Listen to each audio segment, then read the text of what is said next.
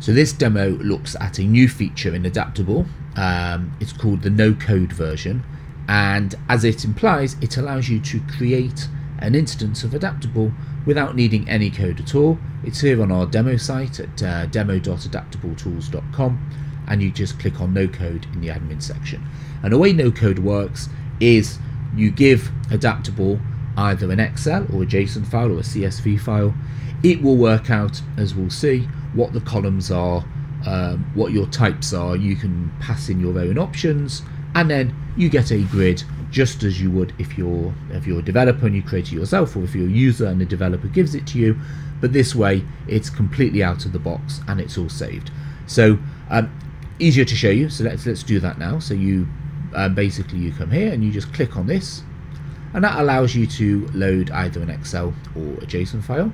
So here are some um, some these are the Excel and JSON files that we use for our um, demo site. So let's get back into data sets. Let's start with an Excel file and let's go to world stats. This opens the Excel file.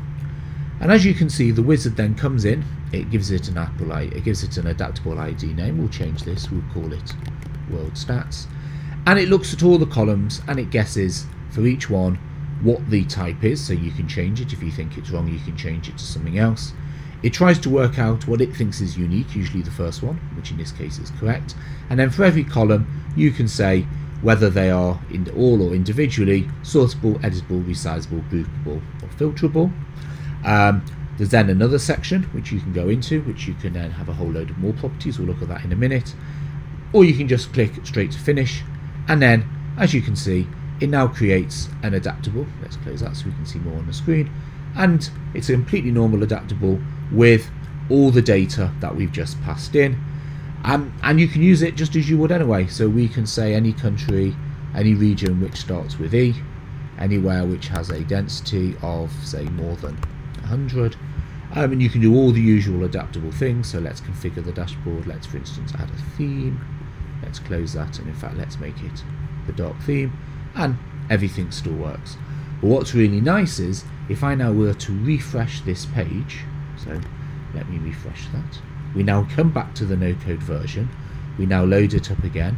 Let's go back to where we were. So let's load up this. It could be a different data set of the same name. So if you've got live data or streaming data or market data, etc., that changes every day, but you always want to call it the same, then you'll see now if we put world stats in here and we go to finish, it remembers. It remembered our filters it remembered that we had region starts with a density of 100, you can see they're here, and obviously it remembered the dark theme.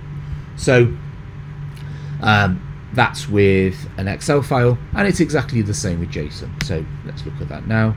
Come back in. This time, let's look at a JSON file. So we'll look at the Northwind orders. This is what we use for most of the demos in our demo site. And again, it's loaded it up it's guessed, it's given it the name of the demo. Again, you, this, that's the adaptable ID, you can change it. There's a lot of columns here, it's worked out their types, it knows if they're dates, if they're numbers, etc, etc. Um, and as I say, there's lots of options you can change. So for instance, I don't know, what should we change? Auto apply filter, yeah, let's let's have that, let's turn that off. So rather than applying a filter immediately, you have to have a button to do it. Um, and uh, I don't know let's say we're not going to show the quick filter. So you can, there's lots more options you can choose from. We finish there. It now creates an adaptable. Again it finds all the data. It puts it all in for you. But um, as we recall we turned off auto apply filter. So let's see how that works. So now um, if I go into employee and I filter on it I no longer, it doesn't happen immediately. I do Anne, I do Laura, and I do Michael, and only now when I do apply filter does it work. So that's the no-code version. It looks very simple, but it's unbelievably powerful, particularly at the moment where people are working from home, where they're being sent lots of spreadsheets. It's much harder um, to manage systems than it is when everyone's in the office. The beauty of no-code is that you can upload a spreadsheet and because you can put it onto your system which is then now in a web browser and easily shareable it's a great way for people to be able to share data with colleagues in a way that's very very hard with standalone excel. Um, and we have a lot of users who are now using it for that reason. Um, where everyone's working remotely you essentially have one instance of adaptable called the no code version and then people can upload spreadsheets upload whatever they want and everybody can immediately see it any changes anybody makes is um, viewable by everyone. So that's the adaptable no code version. Really really excited by it. One of those functions which we think um, the full value of it will only become more apparent as more and more people use it. So please get in touch if you want to find out more. And as ever thank you for watching